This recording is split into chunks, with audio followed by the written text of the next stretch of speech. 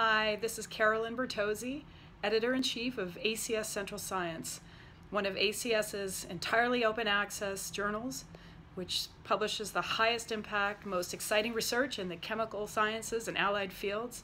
And since day one, we've been fully open access, no charges to publish, no charges for subscriptions. Anybody can get into our journal from anywhere. And one of the reasons publishing open access is important to me is that I feel like it gives the community at large access to some of the most exciting research that in many instances their own tax dollars paid for.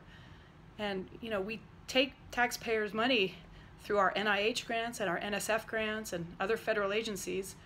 And I feel like it's important for the public to be able to benefit from their investment.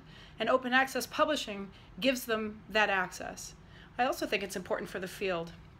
I think the chemical sciences uh, could use an increase in our visibility because we do play such a central role in so many important industries and just in the quality of life that people enjoy. And to the extent that people can better appreciate how chemistry affects them in so many positive ways, I think that's really wonderful for the chemical sciences. So open access is the way to go if you want to have high impact, broad reach, and if you basically want to change the world. Thank you.